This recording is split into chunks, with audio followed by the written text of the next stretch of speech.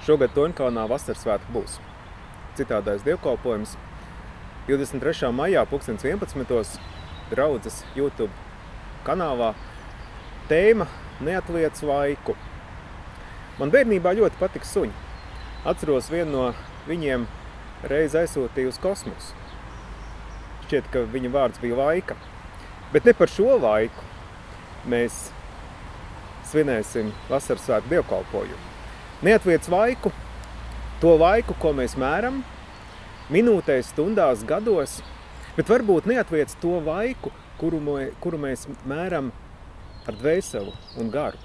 To īsto laiku.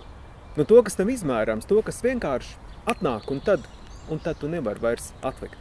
Tad tev ir jāiet, tad tev ir jāskrien, tad tev ir jāceļās, jāmostās, jāsako tam, kas tu pats esi.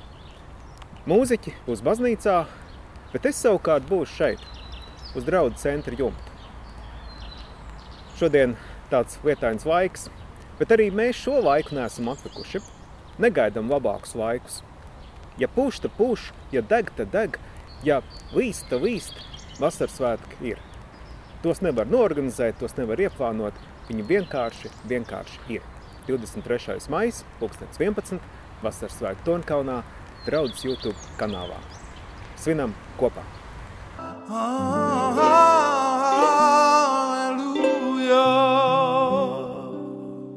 Priecīgs vasaras svētkus!